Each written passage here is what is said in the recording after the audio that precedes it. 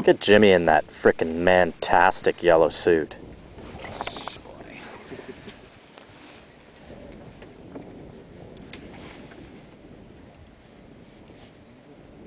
Are you gonna dive in or are you gonna bring her out?